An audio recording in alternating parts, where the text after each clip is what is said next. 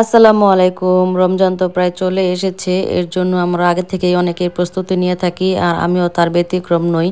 যেহেতু রোজা রেখে সারাদিন ইফতার তৈরি করা অনেক কষ্টসাধ্য ব্যাপার এবং কিছু কাজ আগে থেকে তৈরি করে রাখলে দেখা যায় ঝামেলা অনেকটাই কমে যায়, তাই এগুলো মোটামুটি আগে থেকে তৈরি করে রাখি আমি। আর এটা হচ্ছে তান্দুরি চিকেন, বাচ্চারা এবং বড়রা সবাই অনেক পছন্দ করে। এই চিকেনটাকে আমি ভালো করে কেটে ধুয়ে পরিষ্কার করে নিয়েছি এবং পানি ঝরিয়ে নিচ্ছি, আর এখন এর জন্য আমি মশলা রেডি করব। করব।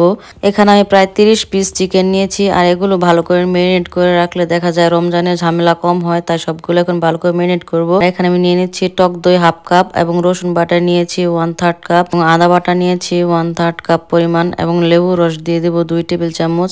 আর এখানে তান্দুরি চিকেন পাউডার এটা আমি নিয়েছি এক প্যাকেট পরিমাণ। সবগুলো মশলা এখন একত্রে ভালো করে আমি মিশিয়ে নেব একটা হ্যান্ড হুইস্কির সাহায্যে। ভালো করে মিশাতে হবে যেন কোনো দলা পেকে না থাকে। আর এখানে লেবু রস আর ভিনেগার ভিনেগার দিয়ে দিছি। সব মিলিয়ে দুই টেবিল চামচ পরিমাণ। এখানে আরও কিছু মশলা আমি অ্যাড করব। এখন আস্তে আস্তে এগুলো মিশিয়ে নিই তারপরে বাকি মশলা আমি এর মধ্যে দিয়ে দেবো। আর এখানে আমি দিয়ে দিচ্ছি প্রায় এক চামচের একটু বেশি ধনে গুঁড়া আর জিরা গুঁড়া এক চা চামচের মতো। আর এখানে আমি মরিচের গুঁড়া দিয়ে দিচ্ছি তিন চা চামচ পরিমাণ। যেহেতু আমরা বাচ্চারা খাব, তাই তিন চামচ দিয়েছি। আপনারা কম বেশি করে নেবেন। আর এখানে আমি তিন চা চামচ দিয়েছি লবণ। এখনও সবগুলো মশলা ভালো করে মিশিয়ে নিচ্ছি, মিশাতে হবে ভালো করে। আর এখানে আমি দিয়ে দেবো সরিষার তেল। আর দেবো গরম মশলা, এগুলো একটু পরে দেবো। আর এখানে আমি দিয়ে দেবো দুই ফোঁটা পরিমাণ ফুড কালার এটা অপশনাল আপনারা চাইলে নাও দিতে পারেন, কিন্তু এখানে দিলে দেখা একটু সৌন্দর্য। একদম বাজারে কেনা চিকেনটার মতো দেখতে লাগবে, তাই এখানে আমি একটু ফুড কালার দিয়েছি। দেখেন কালারটা কতটা সুন্দর এসেছে। আর এই তো এখন আমি দিয়ে দেব বাকি মশলাগুলো। এর মধ্যে দিয়ে দিচ্ছি এক চামচ পরিমাণ গরম মশলার গুঁড়া। এখানে সব মশলায় পরিমাণ মতো দেওয়া হয়েছে। তারপর আপনারা যদি এখানে কিছু মশলা কম বেশি করতে চান, করতে পারবেন, কোনো সমস্যা নাই। কিন্তু এখানে মশলার সাথে মাংসগুলো ভালো করে মেরিনেট করতে হবে। এটাই হচ্ছে সবচেয়ে গুরুত্বপূর্ণ বিষয়। আর এখানে মাংসগুলোর সাথে মশলাটা যেন ভালো করে মেরিনেট হয়, এর জন্য আমি চিকেনগুলো একটু ছুরি দিয়ে চেড়ে চেড়ে দিয়েছি, যেন ভিতরে ভালো করে মশলাগুলো ঢুকে।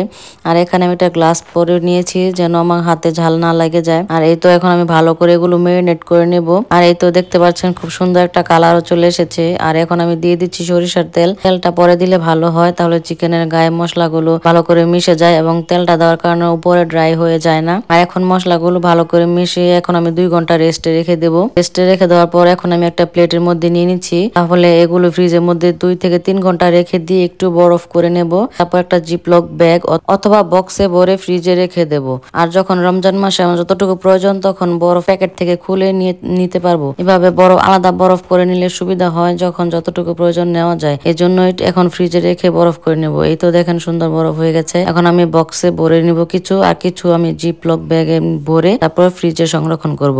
এই তো হলো আমার কিছুটা রমজানের ঝামেলা কমে গেল।